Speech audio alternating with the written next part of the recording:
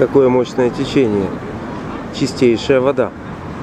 Это Женева, знаменитое озеро, а это знаменитый Женевский фонтан. Выбрасывает тонны воды на высоту 140 метров. К сожалению, большинство людей считает, что могучее здоровье данное от рождения на века. И оно э, позволит прожить 700-800 лет.